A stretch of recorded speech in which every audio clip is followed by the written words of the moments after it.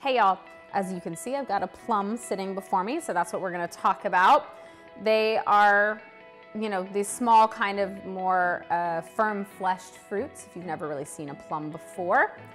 I'm gonna approach this in a very similar way that I would a peach because it does have a pit in there, or a seed. I'm gonna take my knife, go all the way around, same sort of protocol as you would like avocado, anything that has that in there. Twist, Hopefully it releases. Sometimes they cling a little bit. Though most of it released. Eh, I'll leave that. I don't need to really deal with it. Now I've got my half and I would remove the seed from this side to get the other half over here. So from here, you know, you can use it in halves like this if you want to bake your plums, that might be a good option. Otherwise, probably gonna want it in smaller pieces. I cut it in half, cut it in quarters again. I could leave it like that if I want slices. I could make thinner slices even still and go, whoo, it's a little tricky.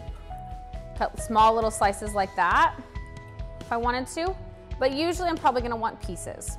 So I take that quarter that I then halved again, just cut like this, and I get some nice size pieces.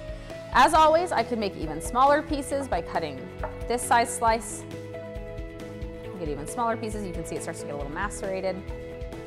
Otherwise, that's it for plums.